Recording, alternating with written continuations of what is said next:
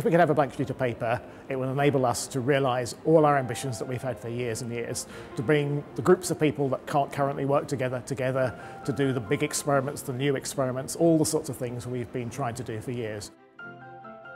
Imperial College is about excellence. We're very good at what we do, we're a very good team to work with, and we aim to solve fundamental questions. Innovation underpins everything that we do uh, in terms of economic growth and ultimately solutions to human well-being and to environmental concerns. So it's a fundamental and we need new spaces to, to innovate in. London has long been a global hub for industry, innovation and scientific inspiration. The most connected city in the world, a magnet for talent, it's the perfect place to discover and innovate. And that's what we've been doing here at Imperial College, in the heart of London, for more than a century. I think one of the greatest appeals of being an imperial academic is the opportunity to apply one's research to the benefit of others. So, for example, industry, um, commerce, and society more broadly. We're already a world renowned institution, but there are many occasions where I turn around and say, No, I'm sorry, I can't do that. We don't have the space, we don't have the time. So, by expanding, we can say yes to a lot more of those opportunities. Collaboration is vital. Imperial cannot solve global problems alone. Our success relies on partnerships with business, industry, the healthcare sector, and other academic institutions across the world.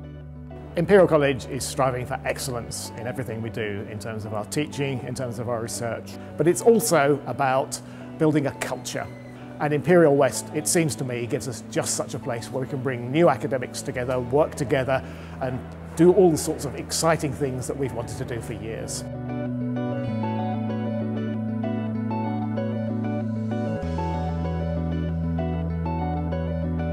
Wanted a space that was designed to bring together thousands of researchers and scientists with innovators and global business partners, so we could turn good ideas into brilliant solutions and make a real difference to the economy and society. That's exactly what Imperial West will do. The plan is taking shape. On the new campus in White City, over 500 postgraduate students are already based in accommodation of the highest quality. I'm front of house receptionist, so I maintain front of house. I look after the students here. Anything they need, any queries, post deliveries, broken microwaves, that's what I'm there for. Now this is here, it's really good that we've got something else local, so all the local community will, will have job opportunities here. This, this venture will bring something like 3,000 new jobs to this area. Um, we're already the home to uh, some world-beating enterprises and businesses, and to have Imperial here will be really great. We've got a very vibrant community, uh, and we're very well connected to the rest of London and to the UK as a whole. There's a clear connection between high-quality research and innovation and at Imperial West, we'll make that link even stronger. It's something we're good at. Over the last decade, we've enabled more than 140 new companies to develop and commercialise ideas and inventions from Imperial academics. Imperial West will help us generate even more and do it on an unprecedented scale here in London. DNA Electronics has already moved west. I represent one of many spin-outs from Imperial College, but we decided to move to West London for two really, really important reasons. One was we've taken the academic science out of the institution into a place that really does allow people to sort of create, gender productivity. But the beauty of where we are, we're very close to the Hammersmith Hospital. It's a great location for visitors. They see this as representative of Imperial College in its science and technology, but with that edge of commercialisation, and that's what really makes it. The strategy is a powerful one. To build a new ecosystem for research and innovation that will have global reach.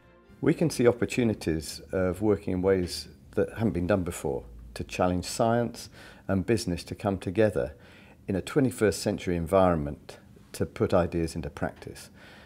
That means innovating the innovation process. We need new space to do that. In new, affordable and flexible facilities, business and industry partners will tap into Imperial's expertise, keeping pace with the changing focus of scientific discovery. Global companies such as Shell see value in such collaboration.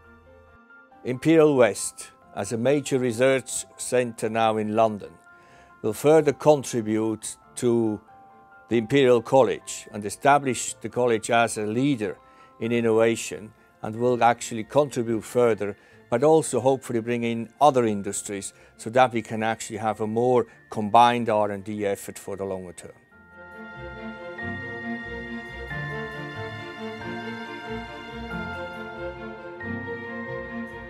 Imperial is already a lively presence in South Kensington, and now with Imperial West focusing on translational research, on taking the great ideas from Imperial out into the wider world, it's a really exciting development.